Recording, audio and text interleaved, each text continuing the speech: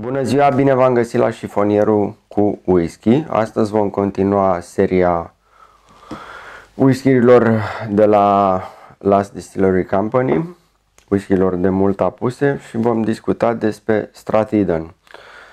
Uh, un whisky din Lowlands, din uh, zona 5 a, a Kingdom of Five a Lowlands-ului, nici nu știu exact când a fost fondată, în 1829 și a pus în, uh, terminată activitatea în 1926. Uh, Alexander Bonthrown, uh, cel care a fondat distileria.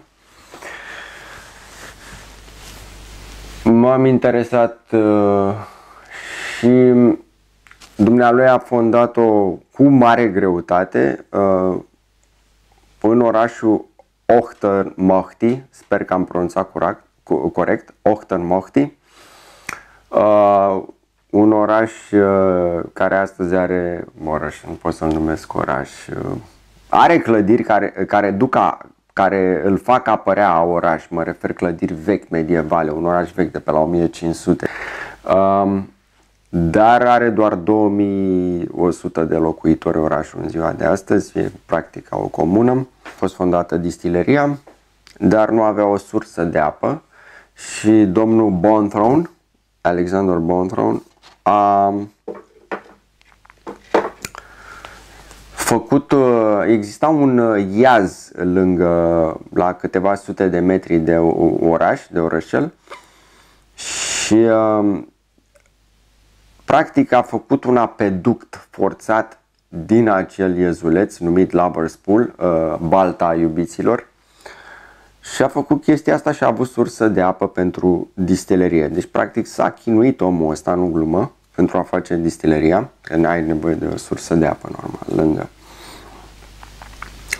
Distileria a fost închisă în 1926. De ce? Pentru că Deși fondată în 1826, distileria avea parte de distribuție calea ferată trecând prin orășelul respectiv, Ochtenmachti, Ochtenmachti, mamă ce nume, Ochtenmachti. Trecând, uh, trecând pe lângă calea ferată, deci a avut parte de cale ferată, deci a avut parte de distribuție.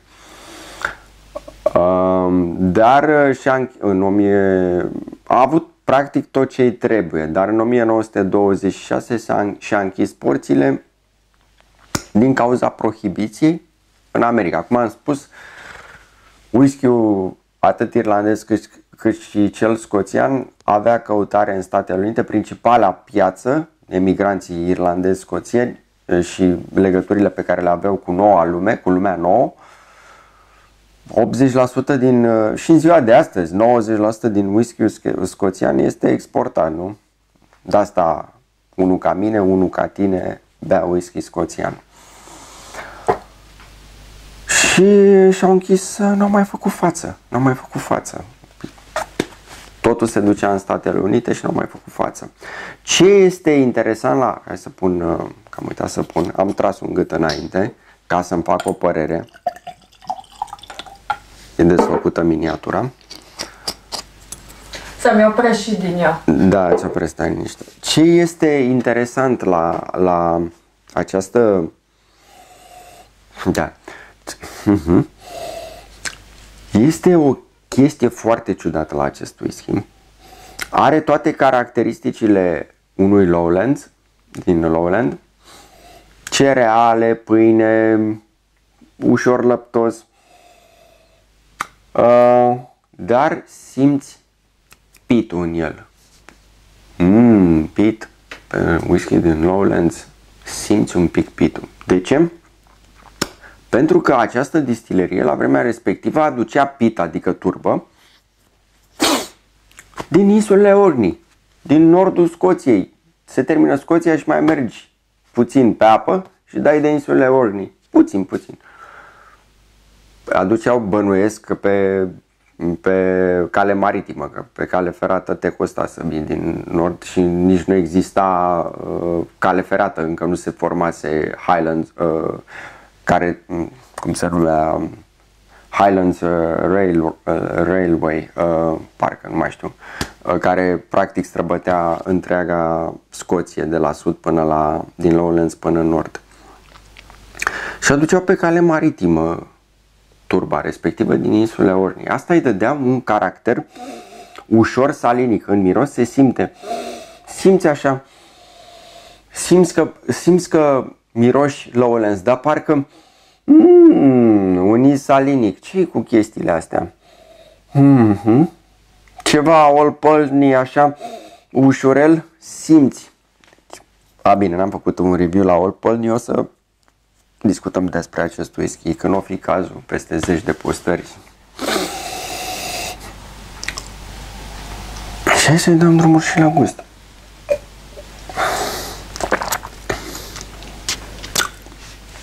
Se simte într-adevăr malțul dulce la, la miros, dar e un whisky fantastic. Uh, inițial nu, am observat că nu a fost uh, Lumea când vorbește de, de whisky-urile astea uh, de la Last Distillery vorbește de Jericho, de Lasset, de ceea ce vom prezenta mai încolo, de mm, chiar Ochnagi, uh, dar uh, foarte puțină lume spune că Stratiden este un whisky bun, foarte bun. Mie, gusturile diferă. Mie mi se pare un whisky grozav acest Stratiden. combinația aceasta Poate părea ciudată pentru unii, dar mie îmi place. Uh, combinația de whisky de Lowlands cu elemente de pit, uh, salinic, oily, uh, uleios specific insulelor. Întotdeauna am fost un uh, admirat, un, un uh, împătimit al whisky-urilor salinice, uh, saline, salinice, saline. Uh, nu neapărat turbate cu pit afumate, ușor saline. Îmi place foarte mult Talisker și uh, Old Pulteney îmi place foarte mult. Iar acest whisky este, are ceva, deși deghizat în cereale și în uh, caramel, chestii specifice Lowlands-ului, ușor citric, puțin, puțin mere și mm, chestia aia îți dă, de, iar e ușor ierboasă, îți dă impresia de un compot de mere băgat într-o coajă afumată de, de stejar, uh, dar nu mai simți că e stejar, nu simți stejarul, simți ușor afumător. E un whisky grozav, după părerea mea.